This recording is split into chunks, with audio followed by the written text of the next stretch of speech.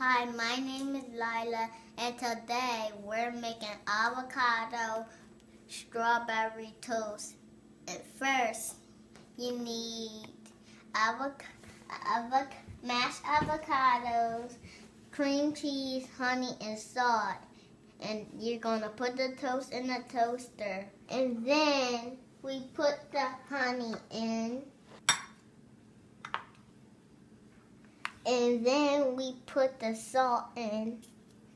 And then we put the cream cheese in.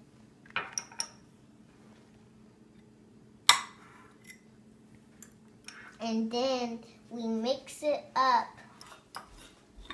We get some of the avocado and spread it on the bread, the toast. And when we're done that, doing that, we get the strawberries. Avocados are yummy! Avocados from Mexico.